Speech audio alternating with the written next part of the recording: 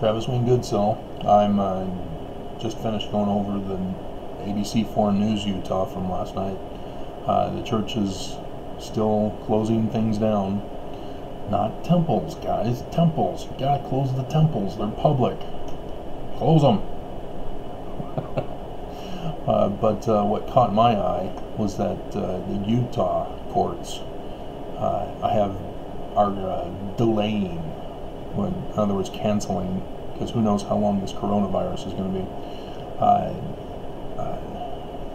non-essential is what they're calling them cases uh, one particular that you need to know that is before the Utah Supreme Court is whether or not uh, President Russell M. Nelson can be um, uh, forced to testify uh, in the case involving his kids who are being accused by six people of uh, satanic pedophilia in the basement of their bountiful home back in the mid 1980s.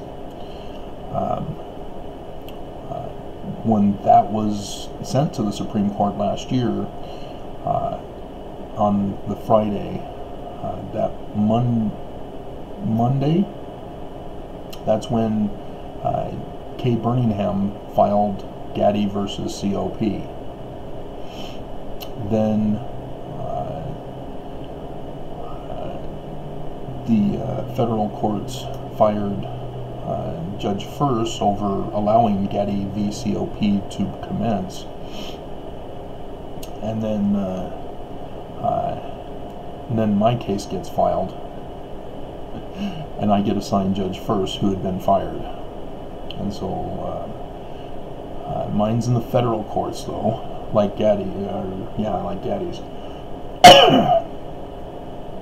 but uh, it's uh, it's going to come to the federal courts too.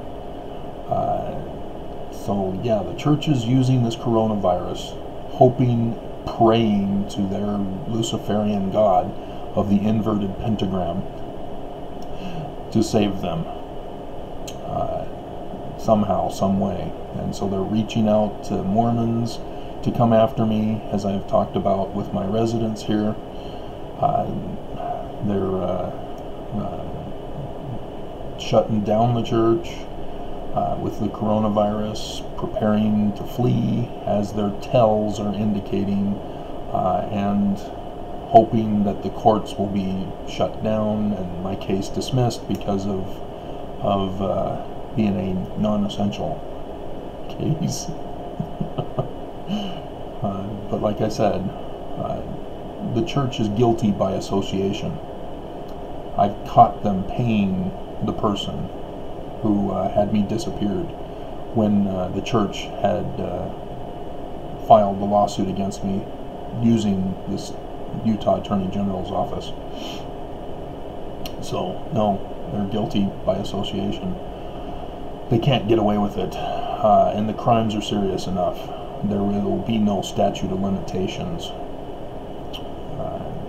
so, just thought I'd share that with you before I go for my run here.